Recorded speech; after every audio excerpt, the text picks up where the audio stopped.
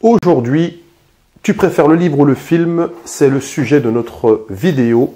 Euh, on va voir ça dans un instant. Est-ce que le livre est mieux que le film ou le film est mieux que le livre? Ça, on va débattre sur le sujet tout de suite.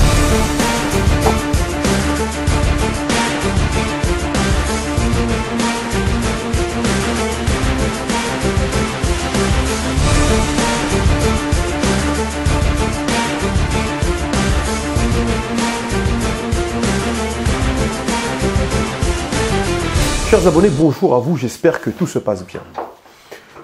Vous savez que pas mal de films, ben, même parmi les plus grands films qui sont box-office américains, sont tirés de certaines œuvres littéraires, des livres plus ou moins littéraires, hein, des livres récents et des livres beaucoup plus classiques. Et souvent, on entend dire les gens, oui, moi je préfère le livre, il y en a d'autres qui disent, oui, je préfère le film, chacun a son avis sur la question. Voilà. Maintenant, qu'en est-il en réalité Si on peut se permettre de parler un peu de la réalité? Euh, de notre point de vue, il est meilleur de lire le livre. Pourquoi? Parce que la construction mentale que le lecteur se fait quand il euh, lit le livre est complètement différente de l'interprétation qui est faite à travers le film. À savoir que le film est une interprétation d'un réalisateur.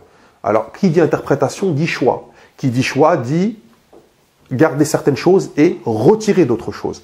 Alors que quand le lecteur a en face de lui le contenu en entier, il peut se construire un monde imaginaire complètement personnel et dans lequel il va être euh, pris émotionnellement euh, et individuellement.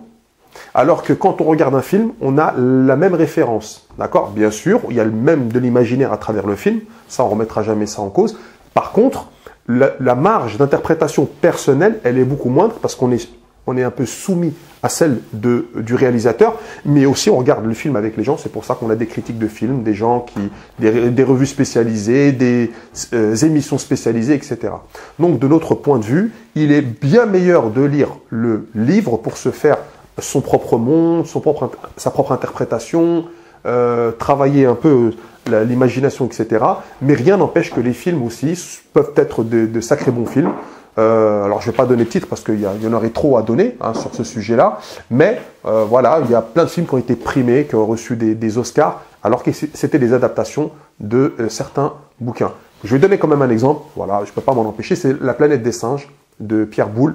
vous regardez euh, le, livre, il est vraiment génial, mais vous regardez l'interprétation de Charlton Heston, euh, elle est absolument grandiose. Voilà. Donc là, on a un, bon, exemple. Et même dernièrement, c'est les, derniers épisodes de la, série, en fait, parce qu'ils en ont fait plusieurs.